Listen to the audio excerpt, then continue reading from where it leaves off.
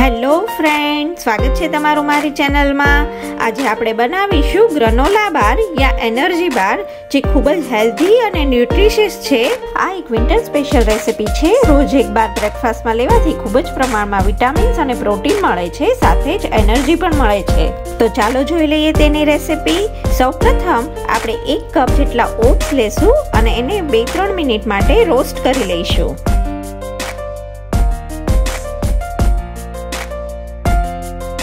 એક પેનમાં half cup જેટલી બદામ, હાફ કપ કાજુ અને હાફ કપ જેટલા અખરોટ લઈ તેને બેથી ત્રણ મિનિટ માટે રોસ્ટ કરી લઈશું.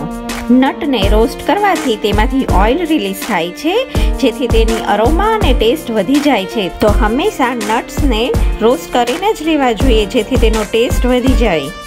બેથી ત્રણ મિનિટ થઈ ગઈ છે, હવે તેમાં એક કપ જેટલા મિક્સ સીડ્સ એડ કરીશું.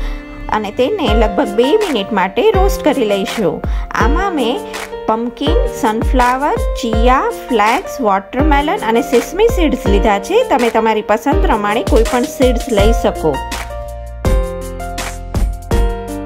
હવે દોઢ કપ જેટલા ખજૂર લઈશું, તેના બિયા કાઢી લેવાના છે અને તેને ક્રશ કરી અને તેની પેસ્ટ બનાવી લઈશું. ખજૂર એકદમ સોફ્ટ લેવાનો છે અને જરૂર લાગે તો બે ચમચી જેટલું પાણી એડ કરી અને તેની ફાઇન પેસ્ટ બનાવી લેવાની છે. હવે એક પેનમાં એક ટેબલ સ્પૂન જેટલું ઘી લઈશું. ઘી ગરમ થાય એટલે તૈયાર કરેલી ખજૂરની પેસ્ટ તેમાં એડ કરી દઈશું અને લગભગ ત્રણથી ચાર મિનિટ માટે આપણે તેને સાતળીશું.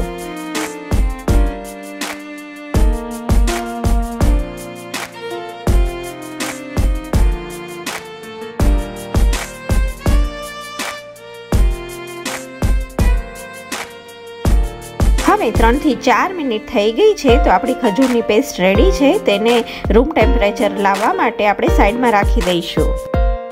એક મોટા બાઉલમાં ખજૂરની પેસ્ટ લઈશું. તેમાં રોસ્ટ કરેલા ઓટ્સ એડ કરીશું. રોસ્ટ કરેલા નટ્સ અને સીડ્સ એડ કરીશું. પછી તેમાં એક કપ જેટલી મૂસલી એડ કરીશું. મૂસલીની જગ્યાએ તમે કોર્નફ્લેક્સ બી એડ કરી શકો. બે ટેબલ સ્પૂન જેટલા પિસ્તા એડ કરીશું. થ્રી ફોર્થ કપ જેટલી મિક્સ ડ્રાય બેરીઝ એડ કરીશું. બે ટેબલ સ્પૂન જેટલી કાળી સૂકી દ્રાક્ષ એડ કરીશું અને હાફ કપ જેટલું મધ એડ કરીશું.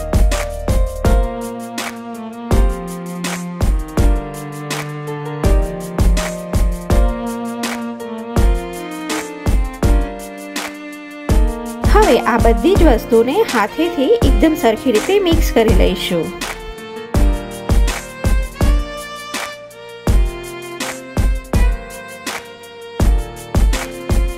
હવે આપણું મિશ્રણ એકદમ રેડી છે.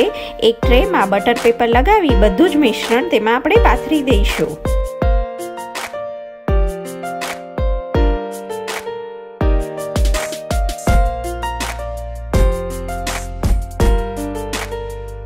સ્પેચ્યુલાની મદદથી એકદમ પ્રેસ કરી એકદમ સરખું લેયર કરી દઈશું.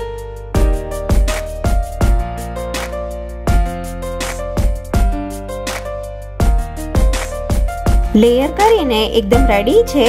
હવે તેની ઉપર પમ્પકિન સીડ સ્પ્રિંકલ કરીશું.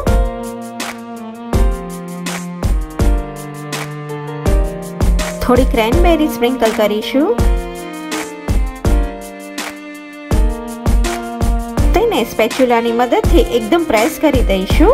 હવે આપણો ગ્રનોલાનો બેઝ તૈયાર છે. તેને લગભગ એક કલાક માટે ફ્રીજમાં સેટ કરવા રાખી દઈશું. એક કલાક પછી આપણો ગ્રનોલા બાર રેડી છે.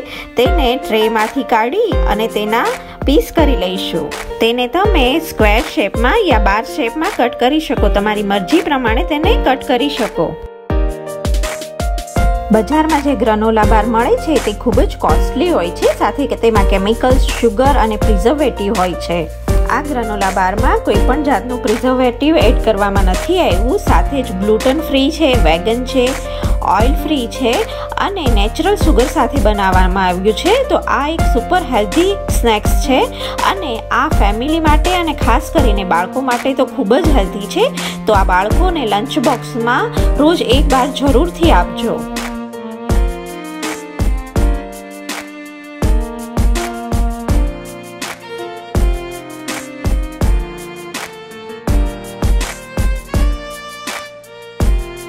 ગ્રનોલા બારને એરટાઇટ કન્ટેનરમાં સ્ટોર કરીને ફ્રીઝમાં વન મંથ સુધી રાખી શકો છો. તો રેડી છે આપણા સોફ્ટ અને ચ્યુઈ એવા ગ્રનોલા બાર જો તમને આ રેસિપી સારી લાગી હોય તો રેસિપીને લાઇક અને શેર જરૂરથી કરજો અને મારી ચેનલને સબસ્ક્રાઈબ કરવાનું ના ભૂલતા. Thanks for watching